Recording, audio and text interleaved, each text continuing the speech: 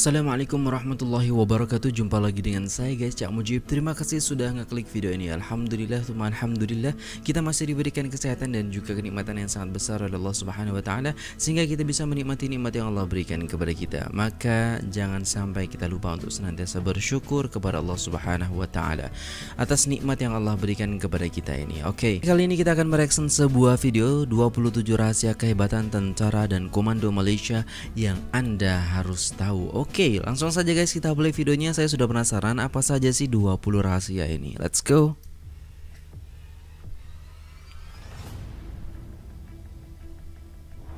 Assalamualaikum dan Waalaikumsalam warahmatullahi Kembali lagi ke channel Hero Malaya.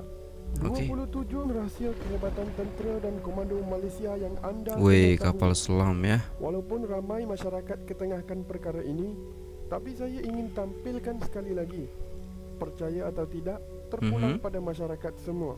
Betul. Sila renung dan fikir terlebih dahulu sebelum berbicara. Kepada mereka yang beranggapan pasukan keselamatan negara kita hanya makan dan tidur.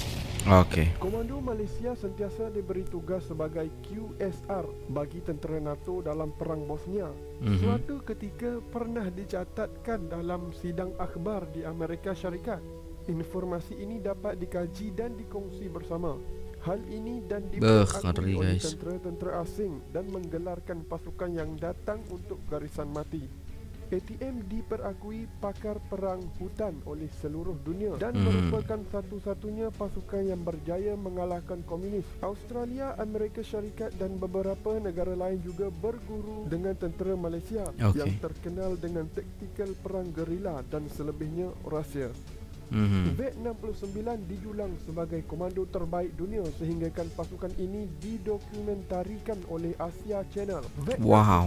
adalah salah satu dari pasukan khas bagi PDRM. Mm-hmm. Perisik Malaysia sama ada PDRM atau ATM merupakan perisikan antara yang terbaik di dunia. Wow. Pada 1988 Agen KGB ditangkap. ditangkap iaitu Sidik Gauss kerana merisik Malaysia. Hal ini dibuktikan dengan kepantasan Malaysia membasmi Al-Maunah, KMM, Abu Sayyaf, Jemaah Islamiah dan pengganas-pengganas lain tanpa mengambil masa yang lama. Okey. ATM dianggap pakar dalam mengubah suai dan pakar integrasi oleh negara luar dalam hal teknologi. Sebagai mm-hmm. contoh, MiG-296 okay. Malaysia satu-satunya pesawat tempur yang memiliki peluru berpandu dan ranking pertama wow. hingga 22 pemandu pesawat tempur dalam anggota TUDM walau hanya menggunakan pesawat buruk tersebut. Mm-hmm. ATM juga telah mengubah suai Su-30 MKM Malaysia menjadi lebih baik daripada pesawat tempur terbaik dunia iaitu Su-30 MKI milik tentera India. Mm-hmm. ATM juga mengubah suai Scorpion menjadi lebih senyap dan paling efisien dalam seluruh kapal selam milik Angkatan Tentera seluruh dunia. Bahkan, dikatakan kapal kontena sumbangan MISC kepada ATM diubah suai menjadi kapal serbaguna dan pernah berkhidmat dalam Ops Fajar mengawal perairan Eden. Sebelum pasukan wow. marinir berjaya tawan Singapura pada 1980-an, pasukan komando udara Malaysia Handau telah menerobos pangkalan peluru berpandu udara milik tentera Singapura mm-hmm. yang mhm. terletak di Bukit Batuk. Paling diingati, pada kes di Bukit Batuk, komando Malaysia menampal stem Malaysia pada setiap peluru berpandu dan meja pegawai tinggi ditukar bendera Singapura dengan bendera Malaysia. Pada mm-hmm. tujuannya membalas dendam kerana jet Singapura sering menceroboh ruang udara Johor. Mereka okay. melakukan tugas tersebut hanya satu hari tanpa dapat kesan. Kaki tangan komplek pertahanan Singapura yang terlibat telah dipecat kerana insiden itu. Okey. Pada lewat 1980-an, sekumpulan tentera Singapura ditangkap oleh tentera simpanan Malaysia kerana cuba memasang radar di sebuah bukit yang terletak oh. di Johor. Tindakan ini dibalas Malaysia apabila di limbungan kering dan basah Singapura kerap berlaku letupan sabotaj yang menjejas pelancaran ekonomi negara itu. Okey. Indonesia risau apabila rela ditubuhkan dan diperbesarkan. Ini kerana mereka tahu adanya pasukan bantuan khas dalam rela. Ini mengingatkan pada bantahan Singapura sewaktu penubuhan mm-hmm. pasukan terjun payung Brigade Para. Bagi pasukan perisik dan anggota elit ATM dan PDRM, Apabila bersara, dikehendaki melaporkan diri di balai polis bagi waktu dan masa yang ditetapkan. Mereka juga hmm. sukar untuk memohon pasport atau visa ke luar negara. Okay. Percaya atau tidak bahawa panggilan cikgu digunakan oleh anggota polis merujuk pada anggota ATM. Indonesia okay. pernah mengutuk Angkatan Tentera Malaysia kerana sewaktu latihan, anggota tentera Malaysia membawa ration makanan. Namun, ia dibalas Malaysia apabila sewaktu gempa bumi padang, makanan yang dihulurkan Malaysia adalah ration tersebut. Pasukan elit pertama Malaysia merupakan Sarawak Ranger dan ini merupakan Okey, Sarawak Rangers ya. Okey, kita tahu tadi. Negara-negara di Kemarin kita sudah react ini. Pernah menumpaskan pengganas komunis dan semasa kontroversi Malaysia mm -hmm. Indonesia. Malaysia pernah menghantar pasukan tentera semasa perang Vietnam bagi membantu Amerika Syarikat menjejaki taktikal okay. gerila Viet Cong. Malaysia merupakan satu-satunya negara di dunia yang berjaya menghancurkan ancaman komunis sedangkan kerajaan demokratik Vietnam yang mm-hmm. dibantu oleh Amerika Syarikat tewas kepada komunis. Oh iya ke? Komando Malaysia pernah dihantar dalam satu misi khas ke Manila untuk mengambil dokumen berkaitan dengan mm-hmm. Sabah satu ketika dahulu. Komando Malaysia pernah membantu tentera Amerika Syarikat bagi menandakan sasaran-sasaran tentera Serbia melalui laser target untuk wow. dimusnahkan dengan smart bomb. Ini baru tahu guys informasi ini ya. Tahukah anda filem Black Hawk okay. Down mengisahkan pemberontakan di Somalia menyelewengkan fakta sebenar di mana sebenarnya tentera Malaysia yang menjadi wira tetapi mm-hmm. oleh mhm. kerana ia filem Hollywood maka peranan Malaysia langsung tidak diiktiraf. Tentera okay. Pakistan ada pada masa tersebut tetapi mereka melarikan diri. Indonesia mendapat aib di Lubnan apabila anggota tenteranya lari apabila dikejar pasukan elit Israel. Setakat ini kontingen-kontingen negara okay. PBB yang datangnya dari negara-negara Melayu dan terkenal adalah Malbat. Itu disertakan angkatan tentera di Raja Brunei yang terbukti dalam misi Bosnia dan Mogadishu. Kapal perang Royal Malaysian Navy Cadiz Selangor pernah terlibat dengan pertempuran laut dengan tentera Indonesia mm -hmm. di mana seorang anak kapalnya mati semasa peristiwa kontrol Oke. Okay. Oke okay guys sudah selesai videonya so uh, pendek banget ternyata videonya cuma 19 rahasianya yang diungkap oleh video ini.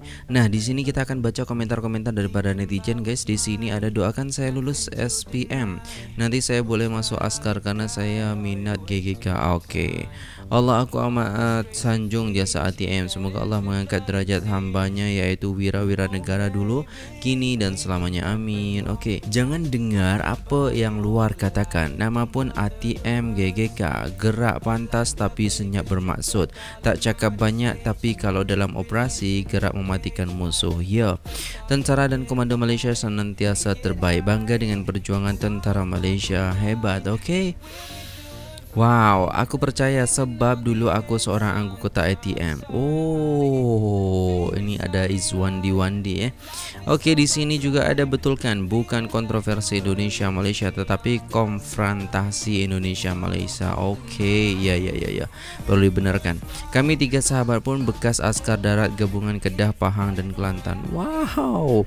Ayo semua kita support YouTuber orang kita Malaysia. Iyalah. Oke, mantap tentara dan komando. Tentara darat tentera laut, tentara udara, apalagi tentara komando GGK. Okey. Kehebatan ATM atau GGK yang disembunyikan Amerika Serikat menyelamatkan anggota tentara Amerika yang jatuh dalam helikopter Black Hawk. Okey, sungguh lemah Amerika. Yalah macam itulah.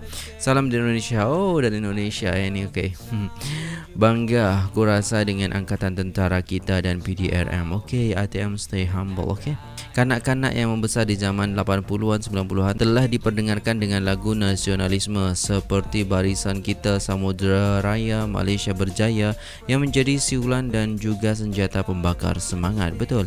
Admin Kau kopi cerita ni dari Malaysia Military Power ke? Cerita sebiji sama Kepada tuan channel ni Jika mampu mencari fakta sebenar lakonan watak Rambo Karena watak Rambo adalah watak sebenar komando Malaysia Yang difilmkan oleh perfilman oh US atas kebenaran ATM dan kerajaan Malaysia suatu ketika dulu dengan bersyarat watak Rambo tak boleh dikaitkan dengan watak sebenar komando Malaysia. Fakta sebenar dirahasiakan daripada khalayak umum. Sekian terima kasih. Ah, okey. Buat video pula bagi netizen sedar betapa pentingnya aset-aset terkini yang lebih mematikan. Tentara kita memerlukan aset-aset baru untuk gantikan aset lama. Saya hanya mampu berharap pada YouTuber-YouTuber untuk menyadarkan rakyat dan orang atas. May Allah protect us. Okey, amin. Okey guys, cukup sekian saja reaction kali ini. Kalau menurut saya sih, wow, keren banget guys. Ya, begitulah. Semua orang itu punya kelebihan dan kekurangan tapi kita harus menghargai dan menghormati setiap kekurangan dan kelebihan kita. Seperti itu guys. Jangan sampai kita menjadi sombong jangan sampai kita istilahnya menjadi congkak seperti itu. Karena setiap yang sombong itu pasti akan hina. Tentunya seperti itu. Oke cukup sekian saja. Semoga bermanfaat. Jangan lupa untuk like share komen dan subscribe channel saya. Dan semoga teman-teman semua senantiasa diberikan kesehatan dan juga kebahagiaan di dunia dan akhirat serta dilindungi dari segala mara bahaya malapetaka bencana dan balak serta berbagai macam penyakit. Terima kasih saya pamit undur diri apabila ada salah kata mohon dimaafkan. Wassalamualaikum warahmatullahi wabarakatuh.